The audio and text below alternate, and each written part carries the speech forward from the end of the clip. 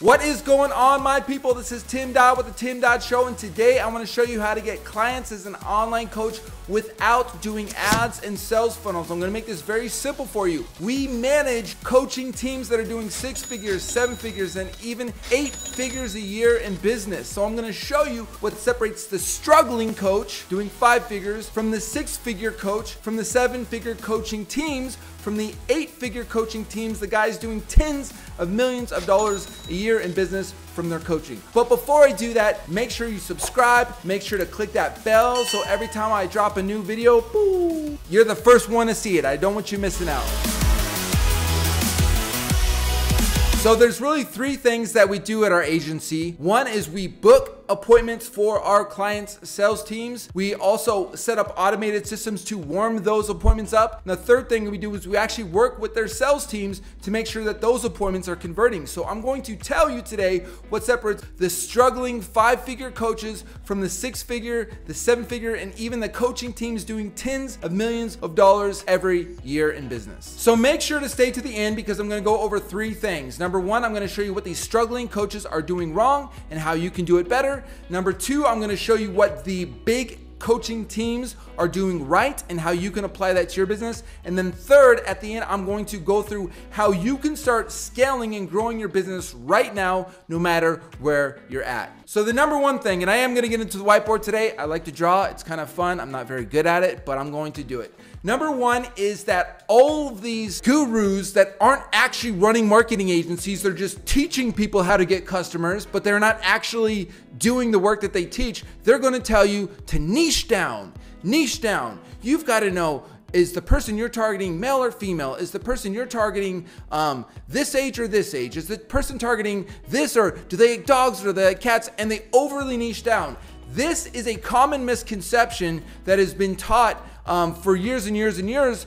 But what has happened is, is years and years and years ago, the people that would send out mailers, like they'd send out like direct mail in bulk that were making tons of money back in the day, they created these customer profiles in this way because what they were doing is sending out millions of cards and they needed to they needed to have a message that spoke very directly to certain customer personas. However, in this digital age, we um, people are trying to apply that old customer persona. You've probably heard it a million times. Make sure to get your customer persona just right. And they're using old school tactics and trying to apply it to new school platforms. So let's say we're targeting on Facebook. You have certain criteria you can target and certain criteria you can't. If you're targeting on LinkedIn, you have certain criteria you can target, certain criteria you cannot. It, whatever the platform is, you have a different type of customer persona. So what you have to do is first figure out what platform you're going to be targeting on, then build the customer persona based off of your targeting options. For instance, LinkedIn is a big part of what we do. Number one, I can do industry. What industry am I targeting? Industry, whatever. Number two, I can target a title. Very, very important. Title. I could do stuff like company size. How big is the company that they, they're in? I could I could even do years of experience. There's so many different options, and I have a training on how to do how to use Sales Navigator if you want to see how to do more of this. So make sure to watch my other videos. But what people are trying to do is they're trying to fit that, hey, I'm targeting a 35 to 45 year old career executive with a dog that blank, blah, blah, blah. They're trying to fit these old school personas into this new school category. So what ends up happening is you're blowing most of your money trying to find these rare people in this big audience. What you need to do is create customer personas based off of what you can target. I'm telling you, the people back in the day, the direct mail people, if they saw the targeting opportunities that we have right now, they would be like, why the hell are you using our old school stuff? If we had your tools, we would be like making gajillions of dollars. So make sure your niche is very targeted on here. But you do have to be specific. On the other end of the spectrum,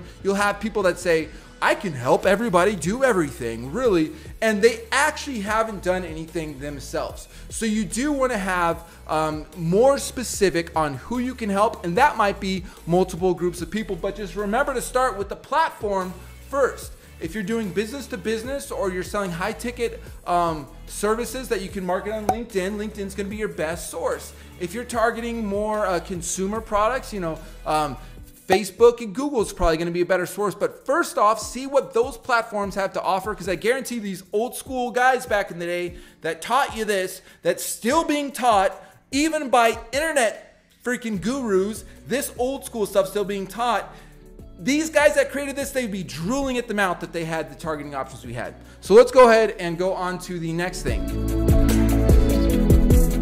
The next part I want to talk about is building course in a webinar. Everybody, every coach thinks they need a course, they think they need a webinar, and I, you, I've literally talked to hundreds, if not thousands, of coaches that say, "Oh, I'm working on my course right now, and it'll be out in two or three months, and we're building a webinar for it, and oh boy, when that launches, we're gonna go." I, but I've never seen a struggling coach that built a course and a webinar be successful. I've only seen successful coaches that are already doing well, that already have new customers coming in, that then create a webinar, then create a course, become successful with that. So you actually don't want to start with the webinar, you don't want to start with the course. You actually want to start by just getting customers. And you can even get paid to build a course by having beta testing clients.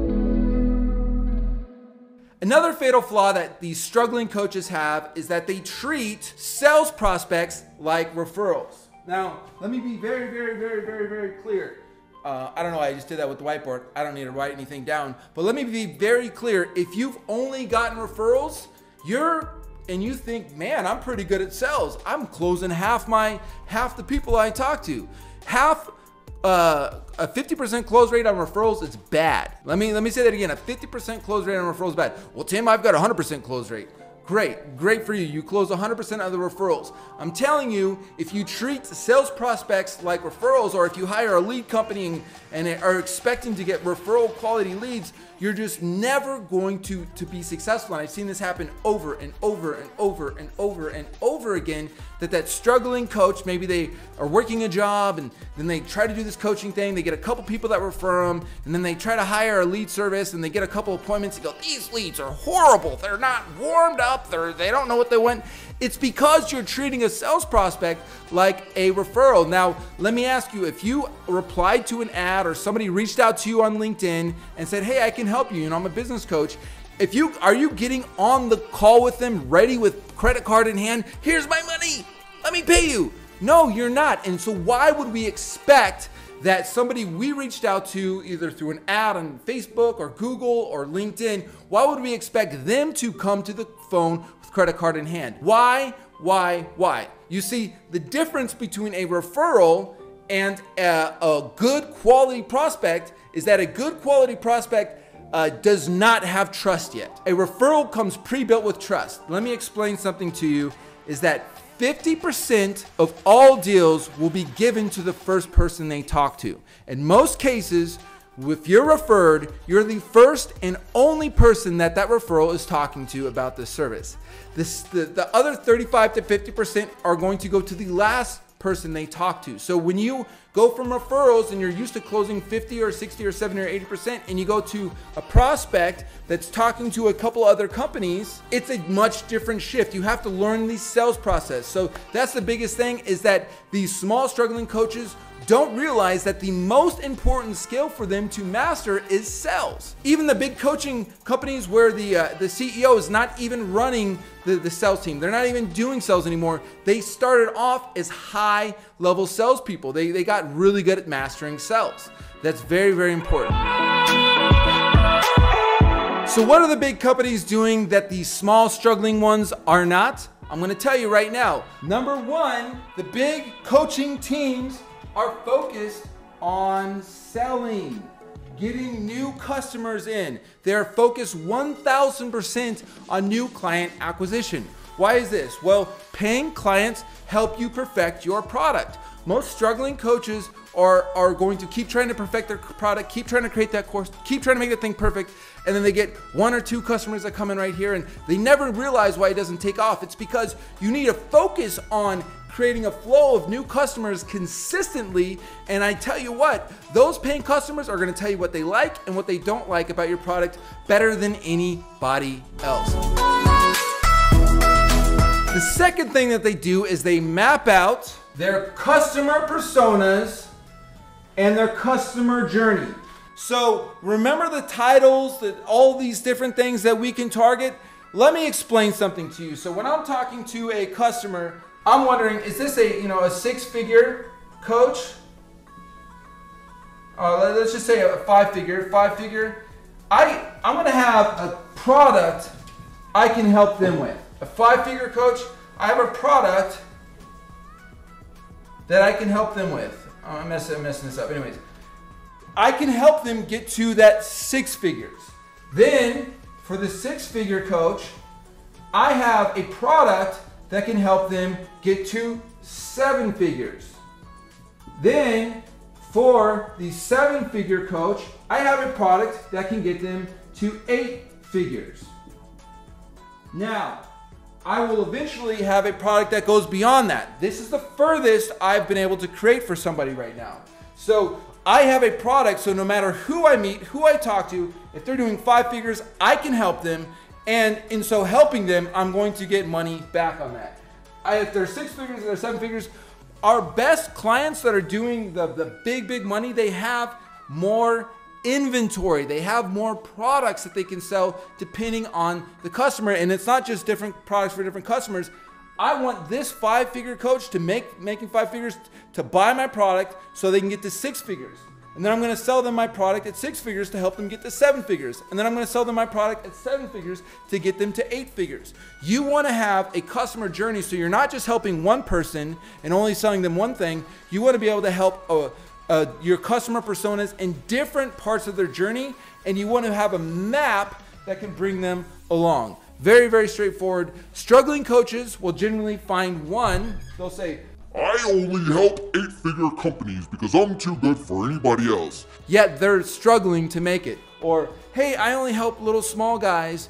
And then they wonder why they're struggling to get money from the little small guys. You have to have different inventory uh, and, and, and, specific personas for each type of uh, process. Very straightforward. The third thing that these highly successful seven figure and eight figure coaching teams do is they buy customers. They create systems to buy clients. Now, there's a couple steps that they do. One is they find one channel and they stick with it until it starts producing well. They don't try, oh, I tried LinkedIn. I tried it for three months from a lead gen company and it didn't work. I tried Google ads, it didn't work. I tried Facebook ads, it didn't work. Guess what? Google ads is working insanely well for a lot of people. Facebook ads is working insanely well for a lot of people. LinkedIn outreach is working insanely well for a lot of people. So if I tried it and it didn't work, if you're doing that, you're giving up before you get it to work. So they focus on a channel until it is producing. This is called flow. They're creating flow in their business. They're creating flow. New, new leads coming in. The second part is then they optimize conversion. Look, if you can at least just break even on this first part up front, you're winning because then you optimize conversion, you start making profit on it, you're doing well. You keep optimizing that channel until it's producing right. And then the then from there what you're going to do is you're going to increase cha- channels. You're going to add more channels. You're going to keep adding channels. You're going to increase channels. You're going to stabilize you're going to then optimize. And then you repeat. Third is you repeat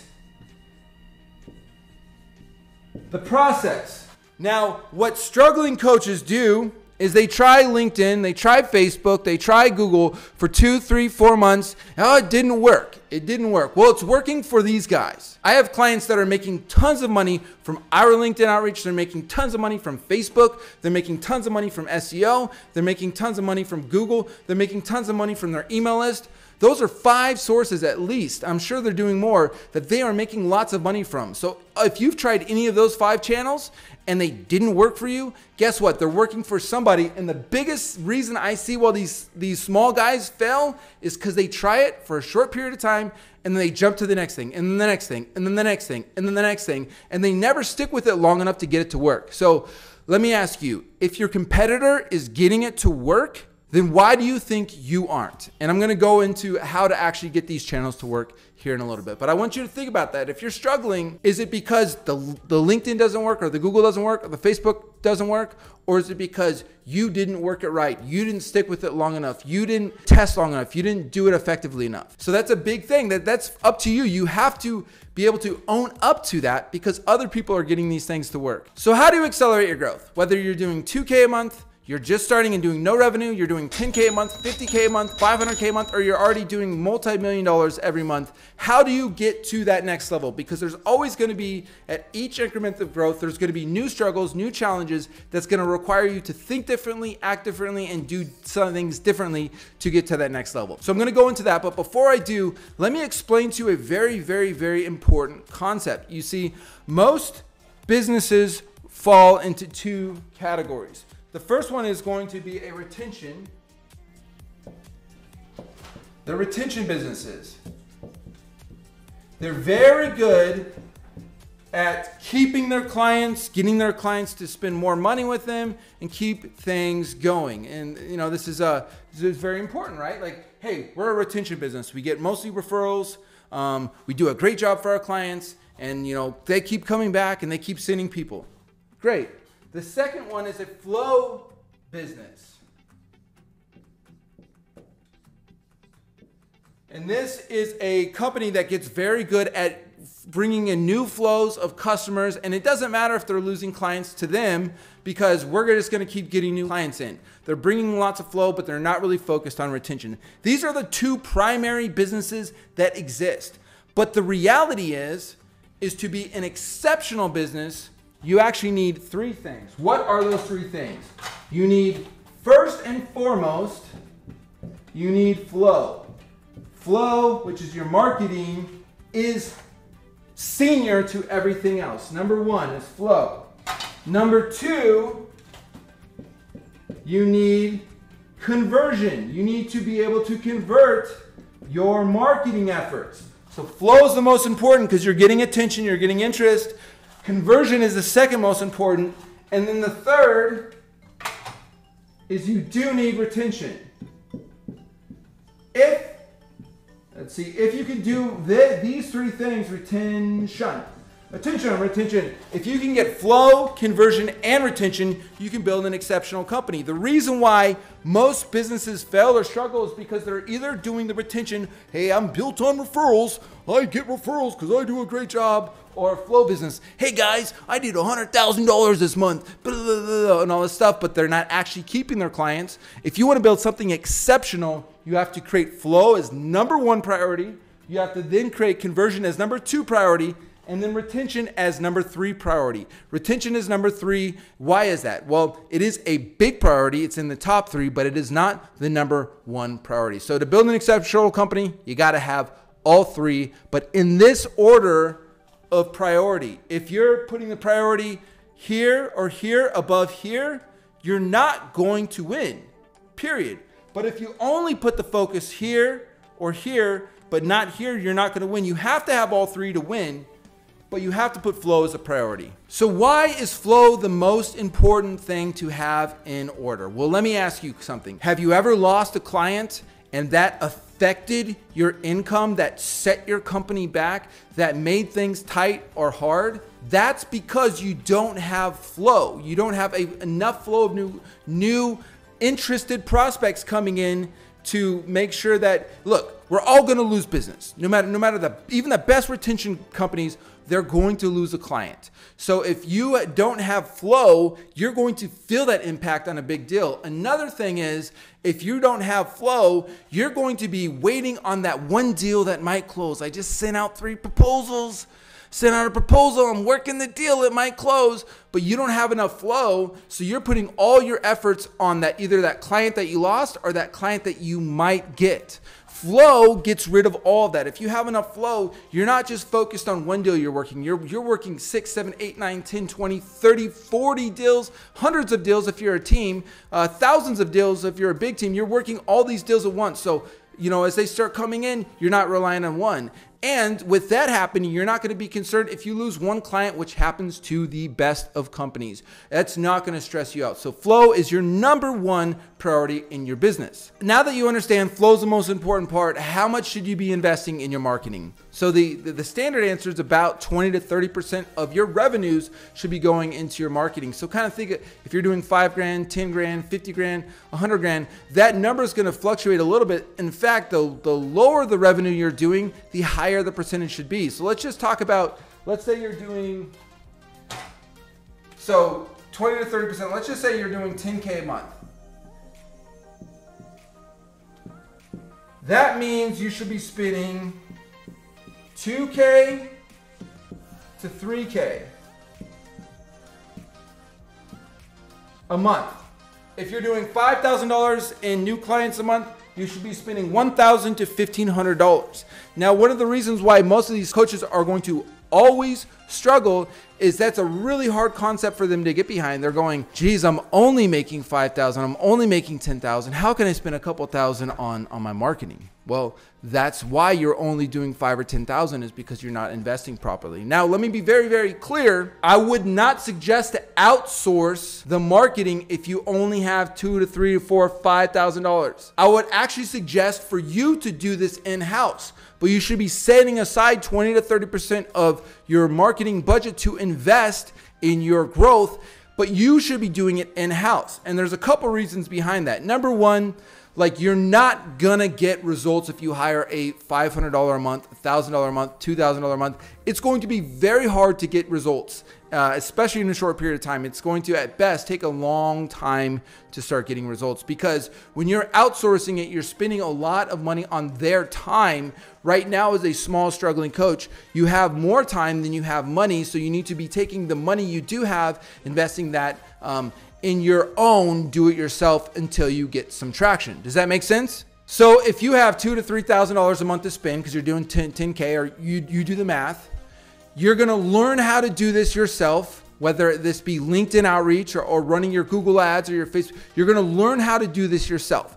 Now that's gonna give you enough budget to actually start getting results. Another benefit that this is going to do for you is that now when you go to outsource, now when you got a five, $10,000, $20,000, $100,000 budget, you actually know how to manage the company you're hiring. Otherwise, you're kind of shooting in the dark when you hire an agency. You don't know if they're good, you don't know if they're bad. Um, if they are delivering good results, but you're not getting conversions, you might blame them. They might be doing a bad job and you're not getting conversions and you don't know. So, learning how to do this in house, um, if you only have 2,000, 3,000, 4,000 to spend on marketing a month um, or less, you need to do this in house so that you can not only get your revenues, but you can actually master it good enough so that you can now manage it. You have to be able to manage this moving forward when you hire a team. Let's say you're making, you know, 20K, 50K, 100K, 500K, or over a million dollars a month, and you're looking to get to that next level. Let's remember the formula is that flow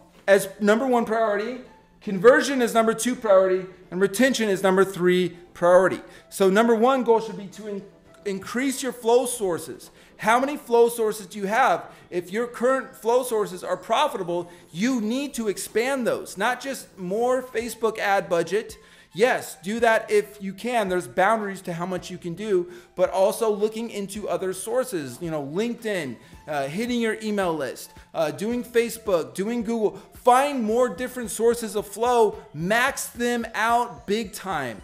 The second part is your conversion.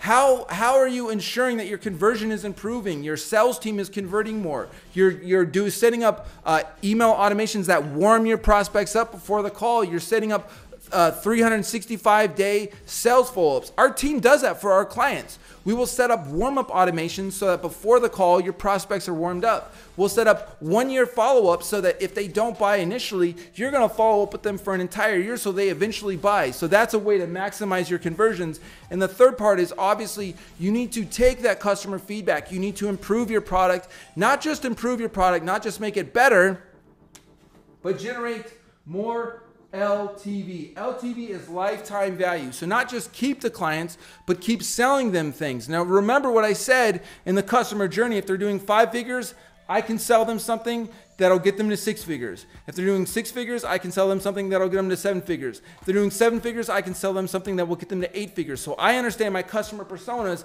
and I can sell them the journey. So, you know, get, get five personas maybe, and create that journey.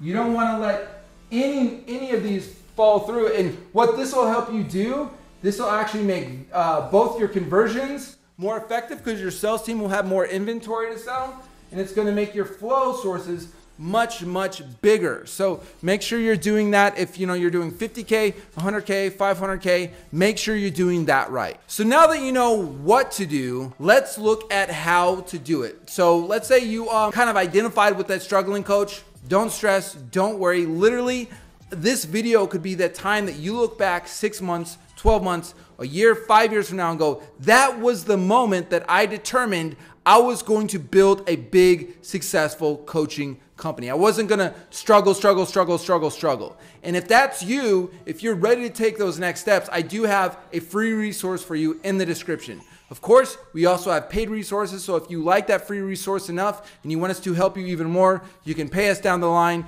Either way, that resource in the description is free for you. I hope you enjoy it. I hope it helps you scale your business, whether or not you hire us. But I know if you get tons of value from it, eventually you will. Now, on the other side, if you're already doing 50,000, 100,000, 20,000, wherever you're at, I also have a free resource for you. The same goes. I have paid products. I'm not lying. I'm not trying to say all my stuff's free. I'm going to give you free value because I know you're going to get so much value from it that a good percentage of you are going to end up hiring us. That's the way the marketing world works. Is you give massive value beyond what your competitors are giving and then eventually customers will come flocking to you. So, hey, if you're that struggling coach, go down to the description, get that free resource. Hey, if you're already killing it, you're looking how to increase your flow, your conversions, or your retentions, I've got a, a resource for you, uh, companies that are already doing very well. Also, make sure to subscribe to this channel, like, comment. I will engage with the comments. So like, comment, subscribe, click that bell, and I will see you in the next video. Also, I'm gonna plug, I do have a lot of other videos if you wanna get more in detail on how to do LinkedIn outreach, how to do the LinkedIn search, how to, get better at your sales, how to get better at your leadership. I have lots of videos on that. So make sure to subscribe to the channel, check out the other videos, and I will talk to you soon. Did I say videos? I meant videos. Talk to you soon. Bye.